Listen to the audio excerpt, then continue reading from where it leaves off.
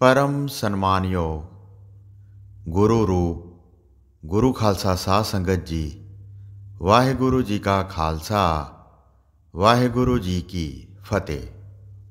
ਪਿਆਰੀ ਸਾਧ ਸੰਗਤ ਜੀ, ਅੱਜ ਆਪਾਂ 24 ਅਵਤਾਰਾਂ ਵਿੱਚੋਂ 15ਵੇਂ ਅਵਤਾਰ ਅਰਹੰਤ ਦੇਵ ਦੀ ਕਥਾ ਸਰਵਣ ਕਰਾਂਗੇ। ਸਾਧ ਸੰਗਤ ਜੀ, ਇਹ ਕਥਾ ਸ਼੍ਰੀ ਦਸਮ ਗ੍ਰੰਥ ਵਿੱਚ ਦਸਵੇਂ ਪਾਸ਼ਾ ਦੁਆਰਾ ਅੰਕਿਤ ਕੀਤੀ ਗਈ ਹੈ। ਗੁਰੂ ਜੀ ਉਸ ਅਕਾਲ ਪੁਰਖ ਨੂੰ ਯਾਦ ਕਰਦੇ ਹੋਏ ਫਰਮਾ ਰਹੇ ਹਨ, ਇੱਕ ਓੰਕਾਰ, ਸਤਿਗੁਰ ਪ੍ਰਸਾਦ, ਸ਼੍ਰੀ ਵਾਹਿਗੁਰੂ ਜੀ ਕੀ ਫਤਿਹ, ਸ਼੍ਰੀ ਭਗਉਤੀ ਜੀ ਸਹਾਏ 24 ਅਵਤਾਰ, ਸ਼੍ਰੀ ਮੁਖਵਾਕ, ਪਾਤਸ਼ਾਹੀ ਦਸਵੀਂ, ਅਕਾਲ ਉਸਤਤ, ਚੌਪਈ। ਅਥ 24 ਉਚਰੋਂ ਅਵਤਾਰਾ, ਜਹ ਬਿਦ ਤਿਨ ਕਾ ਲਖਾ ਅਖਾਰਾ, ਸੁਨਿਓ ਸੰਤ ਸਭ ਹੈ ਚਿਤ ਲਾਈ ਵਰਨਤ ਸਿਆਮ ਜਥਾ ਮਤ ਭਾਈ। ਸੱਚੇ ਪਾਤਸ਼ਾਹ, ਧੰਨ ਧੰਨ ਸ੍ਰੀ ਗੁਰੂ ਗੋਬਿੰਦ ਸਿੰਘ ਸਾਹਿਬ ਜੀ ਮਹਾਰਾਜ ਫਰਮਾ ਰਹੇ ਹਨ ਕਿ ਹੁਣ ਮੈਂ 24 ਅਵਤਾਰਾਂ ਦੀ ਕਥਾ ਸੁਣਾ ਰਿਹਾ ਹਾਂ, ਜਿਵੇਂ ਮੈਂ ਉਹਨਾਂ ਦੀ ਜੀਵਨ ਲੀਲਾ ਨੂੰ ਸਮਝਿਆ ਹੈ। ਸੋ ਹੈ ਸਾਰੇ ਸੰਤ ਜਨੋ, ਤੁਸੀਂ ਮਨ ਲਾ ਕੇ ਸੁਣੋ। ਕਵੀ ਸਿਆਮ ਉਸੇ ਤਰ੍ਹਾਂ ਵਰਣਨ ਕਰ ਰਿਹਾ ਹੈ, ਜਿਸ ਪ੍ਰਕਾਰ ਉਸ ਦੀ ਅਕਲ ਵਿੱਚ ਆਇਆ ਹੈ। ਸਾਧ ਸੰਗਤ ਜੀ, ਕਲਗੀਧਰ ਪਾਤਸ਼ਾਹ ਆਪਣੇ ਪਾਸ 52 ਕਵੀ ਰੱਖਦੇ ਸਨ। 52 ਕਵੀਆਂ ਦੇ ਨਾਮ ਮਹਾਨ ਕੋਸ਼ ਦੇ ਕਰਤਾ ਨੇ ਦੇ ਕੇ 13ਵਾਂ ਕਵੀ ਸਿਆਮ ਤੇ 49ਵਾਂ ਕਵੀ ਰਾਮ ਕਿਹਾ ਹੈ। ਗਿਆਨੀ ਵਿਵੇਕਾ ਸਿੰਘ ਜੀ ਕਹਿੰਦੇ ਹਨ ਕਿ ਸਿਆਮ ਤੇ ਰਾਮ ਗੁਰੂ ਜੀ ਦੇ ਆਪਣੇ ਹੀ ਉਪਨਾਮ ਰੱਖੇ ਹੋਏ ਸਨ। ਜਿਸ ਤਰ੍ਹਾਂ ਕਿ ਕਵੀ ਆਪਣੇ ਨਾਂ ਦੇ ਨਾਲ ਕੋਈ ਤਖੱਲੁਸ ਰੱਖ ਲੈਂਦਾ ਹੈ, ਇਸੇ ਤਰ੍ਹਾਂ ਦਸ਼ਮੇਸ਼ ਪਾਸ਼ਾ ਜੀ ਦਾ ਰਾਮ ਜਾਂ ਸਿਆਮ ਪਦ ਛਾਪ ਸੀ। ਇਸ ਨੂੰ ਮਹਾਨ ਕੋਸ਼ ਦੇ ਕਰਤਾ ਨੇ ਵੀ ਲਿਖਿਆ ਹੈ ਤੇ ਹੋਰ ਕਈ ਵਿਦਵਾਨਾਂ ਦੇ ਵੀ ਇਹੀ ਵਿਚਾਰ ਹਨ। ਜਦੋਂ ਪਰਜਾ ਨੂੰ ਦੁੱਖ ਦੇਣ ਵਾਲੇ ਵੱਧ ਜਾਂਦੇ ਹਨ, ਤਾਂ ਨਿਰੰਕਾਰ ਮਨੁੱਖ ਦੇ ਸਰੀਰ ਵਿੱਚ ਆਪ ਅਵਤਾਰ ਬਣ ਕੇ ਇਸ ਸੰਸਾਰ ਵਿੱਚ ਆਉਂਦਾ ਹੈ। ਸਭ ਸੰਸਾਰ ਦੇ ਤਮਾਸ਼ੇ ਨੂੰ ਕਾਲ ਦੇਖਦਾ ਹੈ। ਅਖੀਰ ਸਭ ਦਾ ਨਾਸ ਕਾਲ ਹੀ ਕਰਦਾ ਹੈ। ਸਭ ਦਾ ਪਸਾਰਾ ਕਾਲ ਕਰਦਾ ਹੈ। ਅੰਤ ਨੂੰ ਕਾਲ ਹੀ ਉਹਨਾਂ ਨੂੰ ਖਪਾਉਣ ਵਾਲਾ ਹੈ। ਉਹ ਪਰਮਾਤਮਾ ਆਪਣੇ ਵਿੱਚੋਂ ਕਈ ਪ੍ਰਕਾਰ ਦੇ ਰੂਪ ਪੈਦਾ ਕਰਦਾ ਹੈ। ਫਿਰ ਆਪਣੇ ਵਿੱਚ ਹੀ ਲੀਨ, ਭਾਵ, ਅਭੇਦ ਕਰ ਲੈਂਦਾ ਹੈ। ਇਹਨਾਂ ਅਵਤਾਰਾਂ ਵਿੱਚੋਂ 10 ਅਵਤਾਰ ਹੀ ਸ੍ਰੇਸ਼ਟ ਹਨ, ਜਿਨ੍ਹਾਂ ਵਿੱਚ ਸਾਡਾ ਬ੍ਰਹਮ ਰਮ ਰਿਹਾ ਹੈ। ਹੋਰ 14 ਅਵਤਾਰ ਹੋਏ ਹਨ। ਗੁਰੂ ਜੀ ਫਰਮਾ ਰਹੇ ਹਨ ਕਿ ਮੈਂ ਉਹਨਾਂ ਦਾ ਪ੍ਰਸੰਗ ਸੁਣਾਉਂਦਾ ਹਾਂ, ਜੋ ਕੁਝ ਉਹਨਾਂ ਨੇ ਇਸ ਸੰਸਾਰ ਵਿੱਚ ਆ ਕੇ ਖੇਡ ਤਮਾਸ਼ਾ ਕੀਤਾ ਹੈ। ਕਾਲ ਆਪਣੇ ਨਾਂ ਨੂੰ ਛੁਪਾ ਕੇ ਸਭ ਕੁਝ ਆਪ ਕਰਦਾ ਹੈ। ਨੇਕੀ ਬਦੀ ਹੋਰਨਾਂ ਦੇ ਸਿਰ ਤੇ ਦੇ ਦਿੰਦਾ ਹੈ। ਜਗਤ ਵਿੱਚ ਆਪ ਨਿਰਾਲਮ ਤੇ ਨਿਰਲੇਪ ਰਹਿੰਦਾ ਹੈ। ਜਦੋਂ ਕੋਈ ਪੁਰਸ਼ ਇਸ ਭੇਦ ਨੂੰ ਜਾਣ ਲੈਂਦਾ ਹੈ, ਫਿਰ ਉਹ ਗਿਆਨੀ ਬਣ ਜਾਂਦਾ ਹੈ। ਆਪ ਹੀ ਪਰਮਾਤਮਾ ਕਾਲ ਨੂੰ ਰਚਦਾ ਹੈ ਤੇ ਆਪ ਹੀ ਮਾਰਦਾ ਹੈ, ਪਰ ਹੋਰਨਾਂ ਦੇ ਸਿਰ ਦੋਸ਼ ਦੇ ਕੇ ਨਾਸ਼ ਕਰਾਉਂਦਾ ਹੈ। ਆਪ ਹਰ ਇੱਕ ਗੱਲ ਤੋਂ ਨਿਰਲੇਪ ਰਹਿੰਦਾ ਹੈ। ਕਿਸੇ ਨੇ ਵੀ ਇਸ ਭੇਦ ਨੂੰ ਪਾਇਆ ਨਹੀਂ ਹੈ। ਉਸ ਦਾ ਨਾਮ ਬੇਅੰਤ, ਇਸੇ ਕਰਕੇ ਕਿਹਾ ਜਾਂਦਾ ਹੈ। ਜਿਹੜੇ 24 ਅਵਤਾਰ ਜਗਤ ਵਿੱਚ ਕਹਾਏ ਹਨ, ਉਹਨਾਂ ਨੇ ਰਤਾ ਭਰ ਵੀ हे ਪ੍ਰਭੂ, ਤੇਰੇ ਅੰਤ ਨੂੰ ਨਹੀਂ ਪਾਇਆ। ਸ੍ਰੀ ਗੁਰੂ ਗ੍ਰੰਥ ਸਾਹਿਬ ਜੀ ਵਿੱਚ ਵੀ ਲਿਖਿਆ ਹੈ, ਬ੍ਰਹਮਾ ਬਿਸ਼ਨ ਮਹਾਦੇਵ, ਤ੍ਰੈ ਗੁਣ ਭੁੱਲੇ ਹਉ ਮੈਂ ਮੋਹ ਵਧਾਇਆ। हे ਭਾਈ, ਗੁਰੂ ਦੀ ਸ਼ਰਨ ਪੈਣ ਤੋਂ ਬਿਨਾ ਬ੍ਰਹਮਾ, ਵਿਸ਼ਨੂੰ ਸ਼ਿਵ ਜੀ ਵਰਗੇ ਵੱਡੇ ਵੱਡੇ ਦੇਵਤੇ ਵੀ ਮਾਇਆ ਦੇ ਤਿੰਨ ਗੁਣਾਂ ਦੇ ਕਾਰਨ ਸਹੀ ਜੀਵਨ ਰਾਹ ਤੋਂ ਖੁੰਝਦੇ ਰਹੇ। ਉਹਨਾਂ ਦੇ ਅੰਦਰ ਹਉਮੈ ਵਧਦੀ ਰਹੀ ਤੇ ਮਾਇਆ ਦਾ ਮੋਹ ਵਧਦਾ ਰਿਹਾ। ਉਹ ਪਰਮਾਤਮਾ ਦਾ ਅੰਤ ਨਾ ਪਾ ਸਕੇ। ਸੋ ਜੋ 24 ਅਵਤਾਰ ਜਗਤ ਵਿੱਚ ਕਹਾਏ ਹਨ, ਉਹਨਾਂ ਨੇ ਰਤਾ ਵੀ हे ਪ੍ਰਭੂ, ਤੈਨੂੰ ਨਹੀਂ ਪਾਇਆ। ਸਾਰੇ ਜਗ ਨੂੰ ਤੁਸਾਂ ਭਰਮ ਵਿੱਚ ਭੁਲਾਇਆ ਹੋਇਆ ਹੈ। ਤੁਹਾਡਾ ਨਾਮ ਇਸ ਕਰਕੇ ਬੇਅੰਤ ਕਿਹਾ ਜਾਂਦਾ ਹੈ। ਪਰਮਾਤਮਾ ਦੀਨਾਂ ਦੁਖੀਆਂ ਨੂੰ ਦੇਖ ਕੇ ਦਿਆਲਤਾ ਦਿਖਾਉਂਦੇ ਹਨ। ਇਸੇ ਕਰਕੇ ਉਹਨਾਂ ਨੂੰ ਦੀਨ ਬੰਧੂ ਕਹਿੰਦੇ ਹਨ। ਅਕਾਲ ਪੁਰਖ ਸੰਤਾਂ ਦੀ ਸਹਾਇਤਾ ਕਰਦੇ ਹਨ। ਇਸ ਕਰਕੇ ਸੰਤ ਪਰਮਾਤਮਾ ਦੀ ਅਵਤਾਰਾਂ ਵਿੱਚ ਗਿਣਤੀ ਕਰਦੇ ਹਨ। ਲਗਨ ਸਗਨ ਤੇ ਰਹਿਤ ਨਿਰਾਲਮ, ਹੈ ਇਹ ਕਥਾ ਜਗਤ ਮੈਂ ਮਾਲਮ, ਜੰਤਰ ਮੰਤਰ ਤੰਤਰ ਨਾ ਰਿਝਾਇਆ, ਭੇਖ ਕਰਤ ਕਿਨਹੂ ਨਹਿ ਪਾਇਆ। ਪਰਮਾਤਮਾ ਲਗਨ ਤੇ ਸਗਨ ਤੋਂ ਨਿਰਾਲਮ ਹੈ, ਭਾਵ ਨਿਰਲੇਪ ਰਹਿੰਦਾ ਹੈ। ਸਾਰੇ ਜਗਤ ਨੂੰ ਇਸ ਗੱਲ ਦਾ ਪਤਾ ਹੈ, ਜੰਤਰ ਮੰਤਰ ਤੰਤਰ ਨਾਲ ਉਹ ਖੁਸ਼ ਨਹੀਂ ਹੁੰਦਾ। ਭੇਖ ਕਰਨ ਵਾਲਿਆਂ ਵਿੱਚੋਂ ਕਿਸੇ ਨੇ ਵੀ ਤੈਨੂੰ ਪਾਇਆ ਨਹੀਂ ਹੈ। ਇਹ ਸਾਰਾ ਜਗਤ ਆਪਣੇ ਆਪਣੇ ਸਵਾਰਥ ਵਿੱਚ ਉਲਝਿਆ ਹੋਇਆ ਹੈ ਤੇ ਕਿਸੇ ਨੇ ਪਾਰਬ੍ਰਹਮ ਨੂੰ ਪਛਾਣਿਆ ਨਹੀਂ। ਜਿਹੜੇ ਉਸ ਪਰਮਾਤਮਾ ਦੇ ਪ੍ਰੇਮ ਵਿੱਚ ਰਚ ਗਏ ਹਨ, ਉਹ ਸਾਰੇ ਲੋਕ ਲਾਜ ਛੱਡ ਕੇ ਨੱਚ ਰਹੇ ਹਨ। ਇੱਕ ਆਦ ਪੁਰਖ ਨੂੰ ਜਿਨ੍ਹਾਂ ਨੇ ਪਛਾਣ ਲਿਆ ਹੈ ਦ્વੈਤ ਭਾਵ ਨੂੰ, ਉਹਨਾਂ ਨੇ ਆਪਣੇ ਮਨ ਵਿੱਚ ਨਹੀਂ ਲਿਆਂਦਾ। ਜਿਹੜੇ ਜਿਹੜੇ ਦ્વੈਤ ਭਾਵ ਵਿੱਚ ਲੱਗੇ ਹੋਏ ਹਨ, ਉਹ ਸਾਰੇ ਵਾਹਿਗੁਰੂ ਦੇ ਮਿਲਾਪ ਤੋਂ ਬਚੇ ਹੋਏ ਹਨ, ਅਰਥਾਤ ਪ੍ਰਭੂ ਤੋਂ ਦੂਰ ਹਨ। ਜਿਨ੍ਹਾਂ ਨੇ ਇੱਕ ਅਕਾਲ ਪੁਰਖ ਨੂੰ ਥੋੜਾ ਮਾਤਰ ਵੀ ਪਛਾਣ ਲਿਆ ਹੈ, ਉਹਨਾਂ ਨੇ ਹੀ ਪਰਮ ਤਤ ਨੂੰ ਜਾਣਿਆ ਹੈ। ਜ਼ਿਆਦਾਤਰ ਲੋਕ ਇਸ ਸੰਸਾਰ ਵਿੱਚ ਭੇਖੀ ਹਨ, ਜੋ ਆਪਣੇ ਪਖੰਡ ਨਾਲ ਇਸ ਸੰਸਾਰ ਨੂੰ ਲੁੱਟ ਰਹੇ ਹਨ। ਮਨੁੱਖ ਆਪਣੇ ਪੇਟ ਵਾਸਤੇ ਪਖੰਡ ਕਰਕੇ ਦਿਖਾਉਂਦਾ ਹੈ, ਕਿਉਂਕਿ ਪਖੰਡ ਕੀਤੇ ਤੋਂ ਬਿਨਾ ਧਨ ਨਹੀਂ ਮਿਲਦਾ।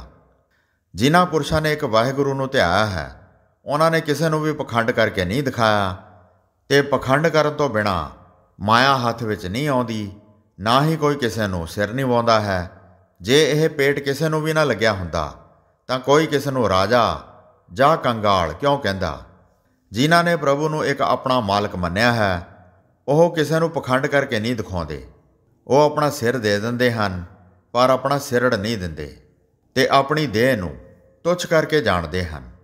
ਉਸ ਪਰਮਾਤਮਾ ਨੇ ਹੀ ਬਲੀ ਦੈਂਤ ਤੇ ਕਮਜ਼ੋਰ ਦੇਵਤੇ ਪੈਦਾ ਕੀਤੇ ਹੋਏ ਹਨ, ਉੱਚੇ ਨੀਵੇਂ ਬਣਾ ਕੇ ਵੱਖ-ਵੱਖ ਰੱਖੇ ਹੋਏ ਹਨ।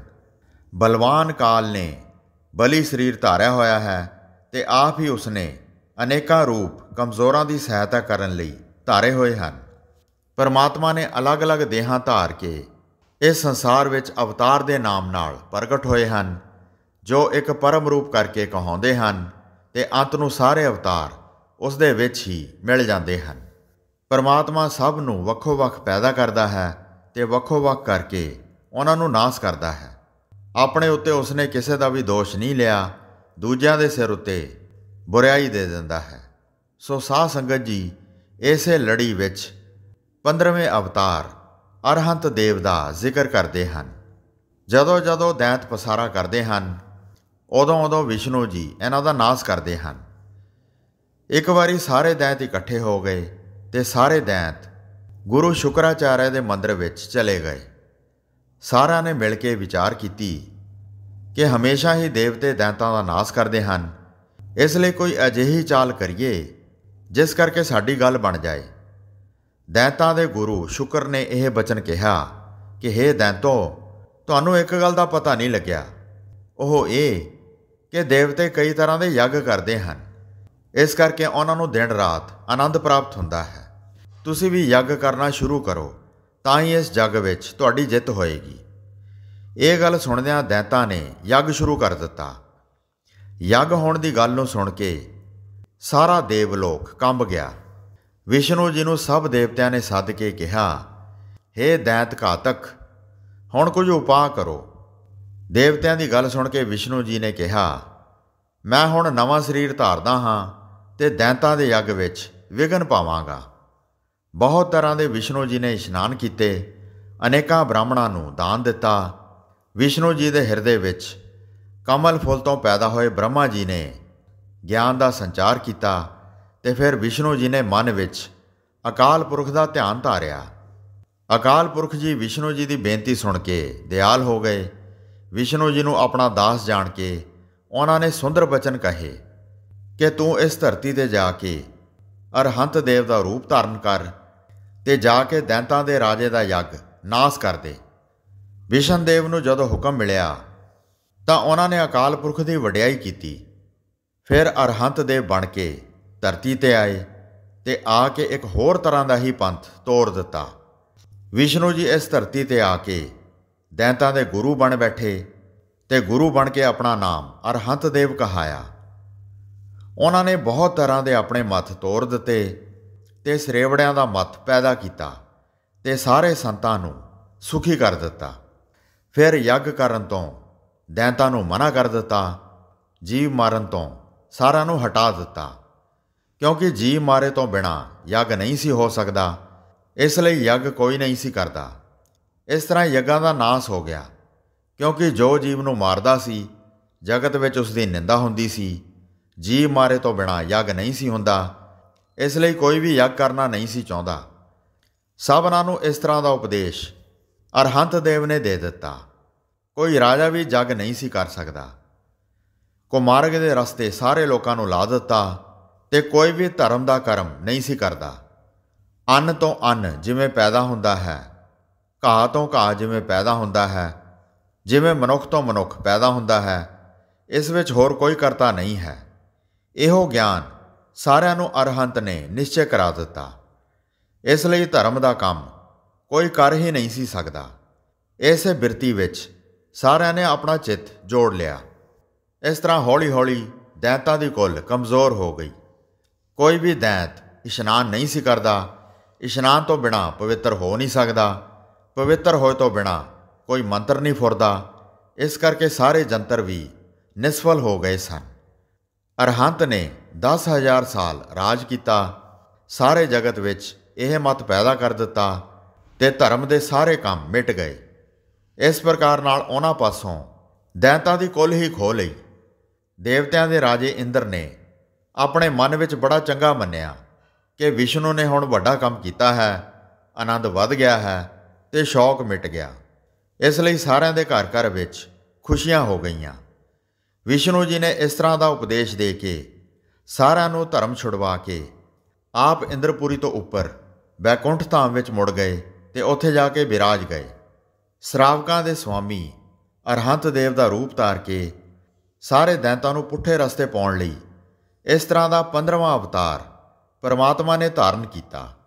ਦੈਂਤਾਂ ਨੇ ਵੈਦਿਕ ਧਰਮ ਕਰਨੇ ਸ਼ੁਰੂ ਕਰ ਦਿੱਤੇ ਤੇ ਉਹਨਾਂ ਨੂੰ ਵੈਦਿਕ ਮਾਰਨ ਤੋਂ ਭ੍ਰਸ਼ਟ ਕਰਨ ਲਈ ਅਰਹੰਤ, ਜੈਨ ਧਰਮ ਦਾ ਆਦ ਆਚਾਰਜ ਰੂਪ ਵਿਸ਼ਨੂੰ ਜੀ ਨੇ ਧਾਰਨ ਕੀਤਾ, ਜਿਨ੍ਹਾਂ ਨੇ ਦੈਂਤਾਂ ਨੂੰ ਵੈਦਿਕ ਮਾਰਗ ਤੋਂ ਹਟਾ ਕੇ ਜੈਨ ਮਤ ਦਾ ਪ੍ਰਚਾਰ ਕਰਕੇ ਉਸ ਰਸਤੇ ਤੇ ਚਲਾ ਦਿੱਤਾ। ਅਰਹੰਤ ਦੇਵ ਨੇ ਸੰਸਾਰ ਨੂੰ ਦਰਵਿਆਰਥਿਕ ਤਰੀਕੇ ਨਾਲ ਅਨਾਦ ਦੱਸਿਆ ਹੈ, ਜਗਤ ਦਾ ਨਾ ਤਾਂ ਕੋਈ ਕਰਤਾ ਹੈ ਤੇ ਨਾ ਕੋਈ ਜੀਵਾਂ ਨੂੰ ਦੁੱਖ ਸੁੱਖ ਦੇਣ ਵਾਲਾ ਹੈ।